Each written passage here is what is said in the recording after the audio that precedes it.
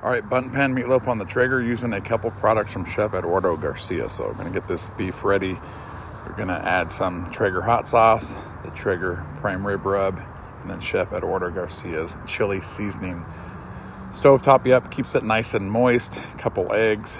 I've got some fresh parsley, and then I'm gonna just get this all mixed up. Once mixed up, I'm gonna lube up that Bundt pan, fill it full, pack it real nice and get it on the Traeger at 350 degrees. I'm going to pull it at about 135 internal. I want to pull it a little early so I can glaze it. So once it's done, we've got to drain that fat. Yeah, it looks gnarly, but it's okay. Get this out. Get Chef Eduardo Garcia's ketchup on there, which is killer. Love his product. So get this glaze put back on for about 15 minutes to tack up. And the finished product is right here. We're gonna hit it with some fresh chives and boom, the reveal, and this was freaking delicious.